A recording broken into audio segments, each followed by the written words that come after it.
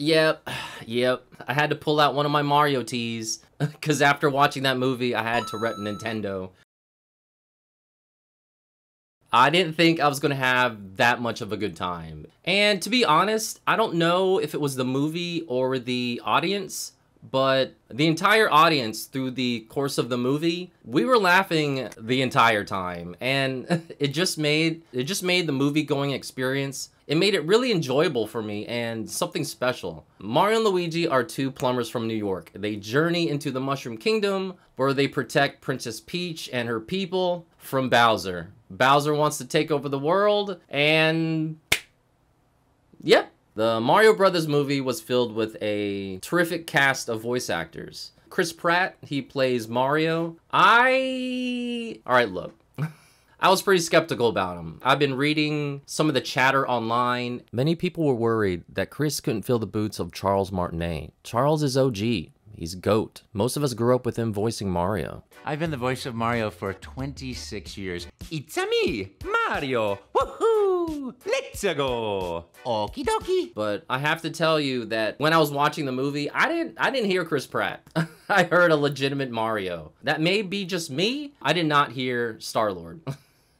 Luigi, he's the younger brother. You know, I thought they were going to sideline Luigi most of this movie. You know, I'm glad they did him justice. And I'm glad they gave him a personality. I'm glad they gave him some depth. Luigi is voiced by Charles Day, who did a terrific job representing Mario's younger brother. Unlike Mario, Luigi is timid and meek, and never really sure of himself. More often than not, Mario will stand up for what's right, a characteristic Luigi has grown to appreciate. Although Luigi literally looks down on Mario, Figuratively, he looks up to him in every way. You know, Peach, when I heard her voice, I thought it was Courtney Draper. Courtney Draper plays Elizabeth from Bioshock. Are you real? I'm real enough. He's coming. You, you've got to go. Why? You don't want to be here when he gets here. Just a minute, I'm getting dressed. Come to find out it wasn't. Peach is actually voiced by Anya Taylor-Joy from Queen's Gambit. Man, their voices are similar. I'm a chess player. Kinda similar. Who are you? Somewhat similar. I'm not sure about that. Uh, Peach was a wonderful character, and I'm glad, I'm glad they got away of the save the princess trope. As a kid, uh, it's alright. You're used to heroes saving the princess. I think it's kind of a staple of Disney animated movies. But after a while, and then you grow up, it just it just doesn't work with today's culture. And what's cool about her, I think at one of the premieres, Anya actually cosplayed as Peach. Bowser, I think he made the movie. In the movie, Bowser wants to marry Peach. Remember Mario Odyssey? Yeah, the writers somewhat borrowed that storyline. It may not have been original, but hey, it worked for the movie. I have to say this, the ending of Odyssey left a bad taste in my mouth. Mario moved heaven and earth to save Peach from Bowser, only to be curved and left on the fucking moon? At least Mario and Bowser shared a moment, I guess. And there, there are just some scenes with Bowser that are just, it's just hysterical, man. And it's Jack Black. There's this scene where he's playing the piano, he's singing his heart out. I was laughing my ass off. Bowser, he's, he's sprung, man. And I don't understand his infatuation with Peach, but Jack Black has a creative way of selling it to the audience. Bowser is monologuing about his love for Peach, and there's this dude in the audience that yells, Simp! The whole audience just busts out laughing, man. He may be simping, but hey, Bowser did it in a way that is just absolutely hysterical. Props to Jack Black. He not only made Bowser funny, but he can flip the script and flip the switch and make him menacing and terrifying. Shoutouts to Key and Seth Rogen. I think they did a good job voicing Toad and Donkey Kong. The Super Mario Bros. movie is a nostalgia overload to the senses, visually, auditorily, and emotionally. Illumination Studios worked hard, translating the Mario universe from video games to the big screen. And they did it.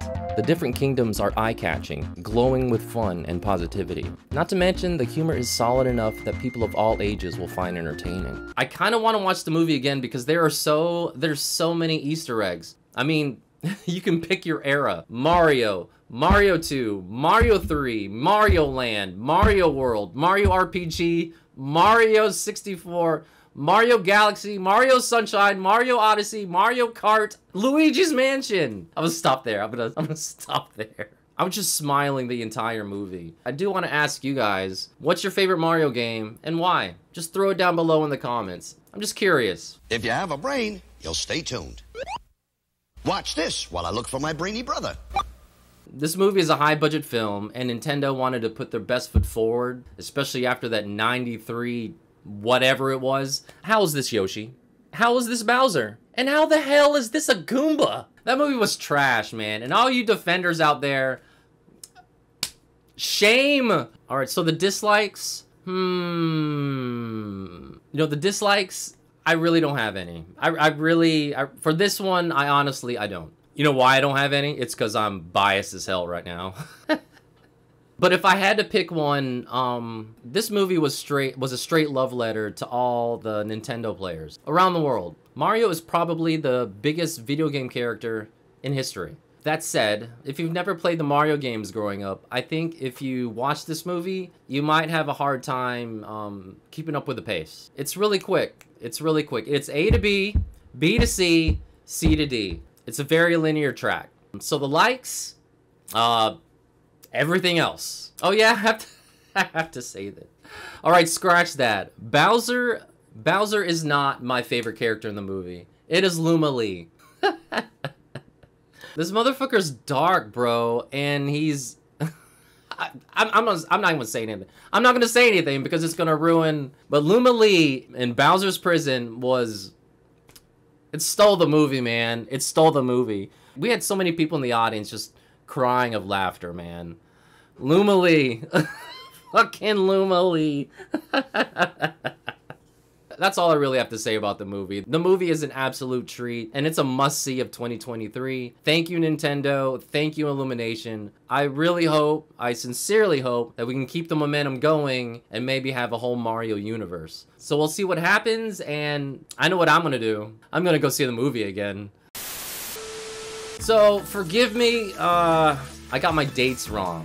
I thought the Mario movie was gonna come out a week from now. As it turned out, it didn't, so I'm still working on the Resident Evil review. It's coming up next. Thank you all for your patience. Um, but the game still scares the shit out of me.